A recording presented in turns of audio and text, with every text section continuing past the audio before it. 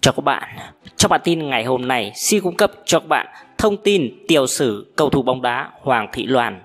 Hoàng Thị Loan sinh vào ngày 6 tháng 2 năm 1995 tại Thanh Oai, Hà Tây, nay thuộc Hà Nội, nước Việt Nam. Chiều cao 1m58, vị trí hậu vệ, tiền vệ. Thông tin về câu lạc bộ, câu lạc bộ hiện nay Hà Nội, số áo 02. Sự nghiệp cầu thủ trẻ, năm 2008 thi đấu cho câu lạc bộ Hà Tây. Năm 2008 đến năm 2014 thi đấu cho câu lạc bộ Hà Nội.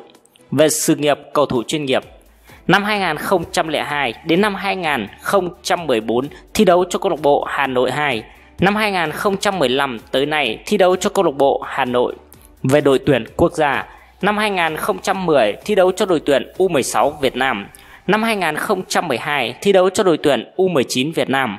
Năm 2015 cho tới nay thi đấu cho đội tuyển quốc gia Việt Nam. Hoàng Thị Loan sinh ra ở Hà Tây, một tỉnh cũ ở miền Bắc Việt Nam. Sau khi tỉnh này xác nhập về Hà Nội, cô về tập luyện và trưởng thành từ lò đào tạo trẻ của câu lạc bộ Hà Nội. Hoàng Thị Loan có 3 lần giành chức vô địch U19 quốc gia cùng với đội tuyển trẻ của Hà Nội. Sau đó, cô thi đấu chuyên nghiệp cho đội tuyển Hà Nội 2 sau chuyển về Hà Nội từ mùa giải 2015. Tại đây, cô có 3 lần giành ngôi Á quân giải vô địch quốc gia. Trên đấu trường quốc tế, Hoàng Thị Loan đã từng được triệu tập lên đội U16 Việt Nam và U19 Việt Nam tham dự vòng loại các giải châu lục nhưng đều không vượt qua vòng loại. Ở tuổi 20, cô được huấn luyện viên Noshi Matsu Takashi phát hiện và gọi lên đội tuyển quốc gia để tham dự vòng loại của Thế vận hội Rio 2016. Sau đó, cô đã có trận ra mắt đội tuyển quốc gia khi Việt Nam đối đầu với Đài Loan ở vòng loại năm đó.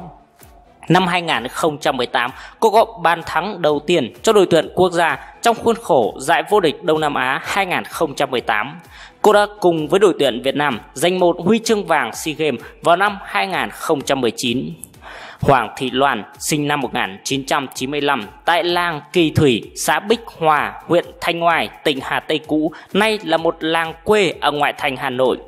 Ngôi làng nằm bên tả đường quốc lộ 21B, cách trung tâm thủ đô khoảng 20 km về phía tây nam. Cô sinh ra trong gia đình thuần nông, không có ai theo nghiệp quần đùi áo số. Trong gia đình, bố mẹ của cô sinh được 4 người con, Loan là chị gái thứ hai, bố cô là ông Hoàng Văn Sâm. Sự nghiệp câu lạc bộ Đam mê bóng đá từ sớm, Hoàng Thị Loan cùng với bạn bè lên huyện xin thử sức ở đội tuyển và được chấp nhận. Từ đây, cứ đều đặn 3 buổi trên một tuần, Hoàng Thị Loan đạp xe đi tập bóng ở trên huyện cùng các anh chị. Sau đó, cô được nhận vào đội trẻ của câu lạc bộ bóng đá nữ Hà Tây, một thực lực của bóng đá Việt Nam thời bấy giờ. Họ là nhà vô địch của giải quốc gia năm 2006, huy chương vàng Đại hội Thể dục Thể thao Toàn quốc năm 2006 và đội U18 Hà Tây cũng vừa giành chức vô địch U18 quốc gia 2007 mùa đầu tiên. Sau khi Hà Tây xác nhập về Hà Nội, Hoàng Thị Loan luyện tập cùng với lứa trẻ của Hà Nội và cô đã cùng với lứa U19 Hà Nội giành được 3 chức vô địch U19 liên tiếp vào các năm 2012, 2013 và 2014. Trước khi về đá cho Hà Nội 1 vào năm 2015, cô có một thời gian thi đấu ở vị trí trung vệ trong màu áo của Hà Nội 2 với một đội hình gồm hàng loạt các cầu thủ trẻ của U19 Hà Nội như Thanh Huyền, Thảo Anh, Thái Thị Thảo, Kim Liên, Mỹ Hảo. Nên không quá khó hiểu khi Hà Nội 2 thường xếp đổi sổ trên bảng xếp hạng với thành tích thi đấu không tốt. Từ mùa giải 2015, cô thi đấu cho câu lạc bộ Hà Nội 1, nay là câu lạc bộ Hà Nội. Tại đây, cô vẫn được mặc chiếc áo số 2 từ thời còn đá cho Hà Nội 2 và dần dần cô đã có được một chỗ đứng trong đội hình của bóng đá thủ đô nhờ sự đa năng và nhiệt huyết trong thi đấu của mình. Sau khi kết thúc mùa giải 2018, cô đã có ý định treo giày sớm và cô đã không tham dự Cúp Quốc gia 2019, lượt đi giải vô địch quốc gia 2019. Sau đó, cô đã trở lại thi đấu vào giai đoạn lượt về của giải vô địch quốc gia 2019 và thi đấu khá ổn định, làm tiền đề cho việc trở lại đội tuyển tham dự SEA Games 30 vào cuối năm Hiện nay, cô thực biên chế của Trung tâm huấn luyện và thi đấu thể dục thể thao Hà Nội. Sự nghiệp quốc tế Tháng 10 năm 2010, cô được huấn luyện viên Nguyễn Duy Hùng gọi vào đội tuyển U16 Việt Nam tham dự vòng loại thứ nhất giải vô địch U16 châu Á 2011 diễn ra ở Makati, Philippines. Cô được khoác số áo 17 và ra sân đá chính ở cả 4 trận, góp công không nhỏ giúp U16 Việt Nam vòng qua vòng loại thứ nhất một cách rất thuyết phục khi thắng cả 4 trên 4 trận, ghi được 33 bàn và giữ sạch lưới cả 4 trận.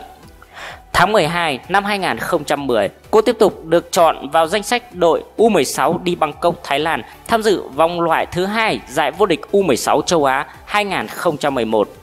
Cô tiếp tục được khoác áo số 17 và đá chính cả 4 trận. Sau trận đầu ra quân thuận lợi khi thắng U16 Iran 4-2 thì đến hai trận tiếp theo U16 Việt Nam đã phải nhận hai thất bại liên tiếp trước các đối thủ trong khu vực là U16 Thái Lan và U16 Myanmar. Trong đó, ở trận gặp U16 Thái Lan, Hoàng Thị Loan là người mắc lỗi trong vòng cấm, khiến đối thủ được hưởng quả phạt đền và vượt lên dẫn trước 1-0 từ phút thứ 18. Đến trận cuối cùng chỉ còn mang ý nghĩa danh dự, thầy trò ông Nguyễn Duy Hùng đã khép lại chiến dịch vòng loại năm đó bằng loạt rượt đuổi tỷ số 3-3 với U16 Đài Loan. Sau 4 trận đấu, Hoàng Thị Loan cùng với đồng đội chỉ xếp ở vị trí thứ tư trong năm đội và không có vé vào vòng chung kết ở Nam Kinh Trung Quốc. Cuối năm 2012, cô tiếp tục được ông Nguyễn Duy Hùng triệu tập vào đội U19 Việt Nam tham dự vòng loại thứ hai giải vô địch U19 châu Á 2013. Cá nhân của Loan thì được đá chính cả ba trận và thi đấu khá tốt Tuy nhiên, các cô gái trẻ của Việt Nam đã không vượt qua vòng loại do thất bại đen đủi 1-2 trước U19 Myanmar ngay trận đầu ra quân, trận đấu mà U19 Việt Nam chỉ ghi được một bàn thắng nhờ công của hậu vệ Mỹ Anh, còn hàng công thì đã tỏ ra vô duyên một cách rất kỳ lạ. Cuối tháng 7 năm 2015, được huấn luyện viên Nomatsu Takashi gọi lên tập trung cùng đội tuyển quốc gia để tham dự vòng loại thứ hai Thế vận hội Rio 2016 diễn ra ở Mandalay, Myanmar. Ngay trong trận đấu đầu tiên với Đài Loan vào ngày 14 tháng 9, cô đã có lần đầu tiên ra mắt đội tuyển quốc gia khi được ông thầy người Nhật cho ra sân từ đầu. Khi đó, cô mới được 20 tuổi 7 tháng 8 ngày Tuy nhiên, đội tuyển Việt Nam đã để thua đáng tiếc với tỷ số 0-1. Ở cả 3 trận đấu còn lại, những cô gái vàng đã trở lại mạnh mẽ khi lần lượt đánh bại đội chủ nhà Myanmar 4-2, Jordan 2-1, Thái Lan 2-0 để đứng đầu bảng và giành tấm vé duy nhất vào vòng loại tiếp theo. Đầu năm 2016, cô tiếp tục được gọi tham dự vòng loại thứ ba ngay sau khi huấn luyện viên Mai Đức Trung trở lại nắm quyền. Cô được ra sân đá chính trong hai trận đầu tiên gặp Trung Quốc và Australia ở vị trí hậu vệ cánh phải.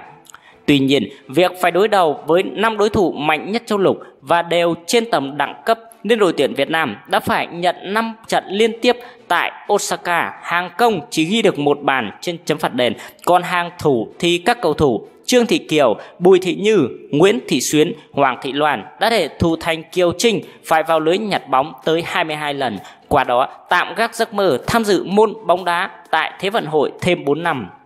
Ở hai lần tập trung trong vòng loại Thế vận hội lần này, cô đều khoác áo số 13.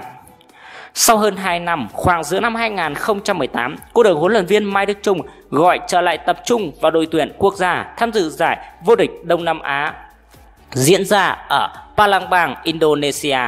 Kết thúc giải, cô có 3 lần ra sân ở vòng bảng và đóng góp một bàn thắng ở phút thứ 27 trong trận gặp Singapore. Còn đội tuyển Việt Nam giành vị trí thứ ba chung cuộc sau khi quật ngã đội tuyển Myanmar với tỷ số 3-0 trong trận tranh huy chương đồng.